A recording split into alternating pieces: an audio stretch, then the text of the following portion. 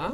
You're just so close, and eye level is literally. So she's gone, you're so close, and I'm looking at your cock. Look up, bitch! it's not my fault! I mean, I thought I was talking to you. You're obviously just fucking ogling my crotch.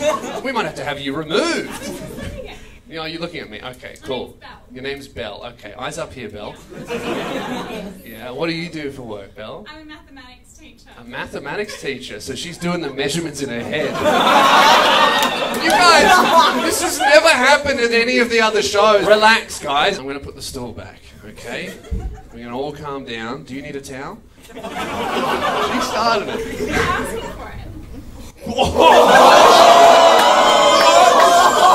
I'm tweeting hashtag me too right fucking now. You're going down like Harvey Weinstein, baby.